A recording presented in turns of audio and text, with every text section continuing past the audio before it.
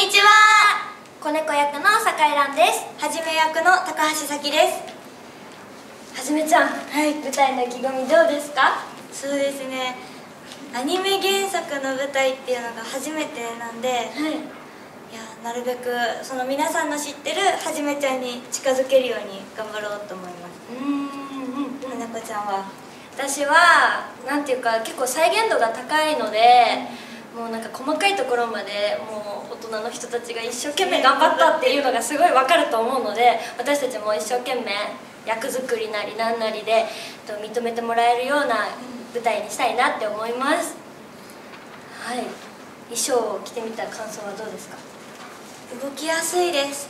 違うんですけどなんか結構分厚めのパーカーとかかなってここのこれとか映ってるかな？分かんないけど足の なんかはじめちゃんってここプロテクター、みたいなのしてるんですけど、そういうところも動きやすくて、可愛いよねこれちゃんと作ってくれてて、こういうのとかちょっとストライク書いてあるんですよ。っていうのが細かい強そうだよね。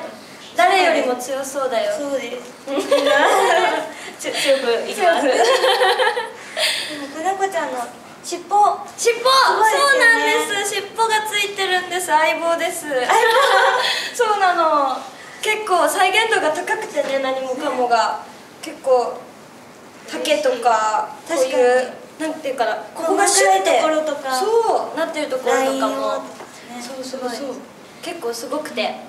自分だったらどんなミニマムが欲しいですか？どんななんだろうでも、うん、ちょっとジャンプしてめっちゃ高く飛べるの 欲しいなと思います。あビルの上まで、ね、そうですそうです。ああなるほどね。一気に行くぜみたいなのそういうミニマムがあるんだいや今ちょっと飛びたいなって思って。あなるほどね。すごいかわいい。欲しいですか？私はあれあのね実際にあるんだけど、うん、時を早める。